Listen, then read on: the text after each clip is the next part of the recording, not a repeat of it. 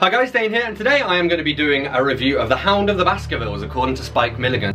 Dane reads.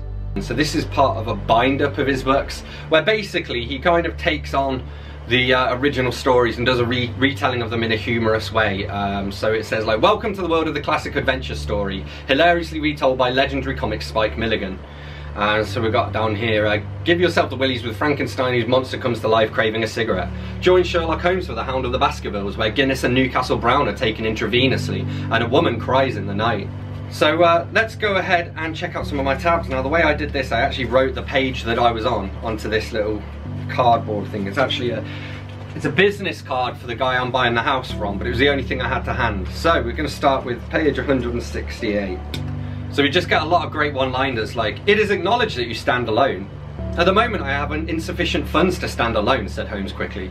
A great line here. I presume that it is Mr. Sherlock Holmes who I'm addressing and not, no, that's my friend Dr. Watson. I am near, I am here near the window. Good heavens, said Mortimer. You're not going to jump out, are you? Not yet, it depends on you. And uh, just a great little couple of lines here. Some great uses of fuck, so. Foot, footsteps, said Holmes. Footprints. A man's or a woman's?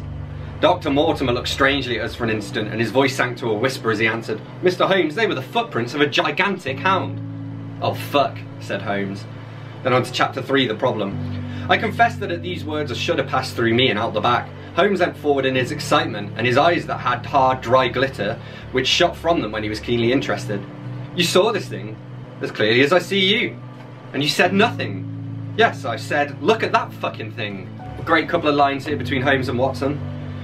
We can't afford failure, Watson. You have arms, I suppose. Yes, and legs. And here we get the woman crying in the night. Did you hear a woman sobbing in the night, I asked. Yes, I did. I waited quite a long time, but there was no more of it, so I presumed he'd stop doing it to her, replied Sir Henry. Jesus. And I, another great just little pun here. We found a short valley between rugged high tors. High tor, I thought I saw a puddy tap, but when I got there, there was none. And we get this, this line here. I can't forget the look in his eyes when he ran at me this morning, but I must allow that no man could make a more handsome apology than he has done. Did he give any explanation of his conduct? Yes, he said he had piles and they were playing him up. I told him his arsehole has nothing to do with me. You do not use piles as an apology, it's a condition. And here we get Laura Lyons and why uh, she didn't go and meet uh, Hugh Baskerville on the, the fateful day.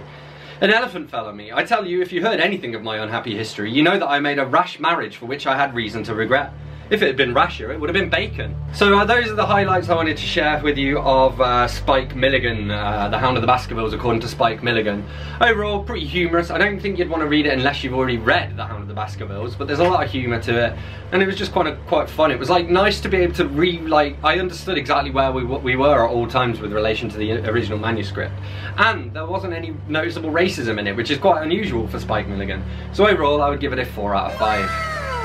So there you have it, there's my quick review of The Hound of the Baskervilles according to Spike Milligan. As always, don't forget to let me know in the comments what you thought of this book, if you read it. Hit that like button if you've enjoyed this video, hit that subscribe button for more, and I will see you soon for another bookish video. Thanks a lot.